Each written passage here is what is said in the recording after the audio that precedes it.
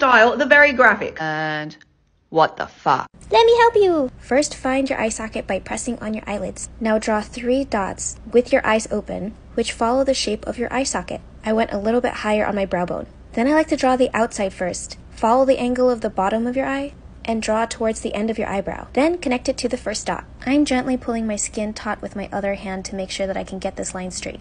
Now I find the middle part the hardest, so I prefer to do the front two dots next.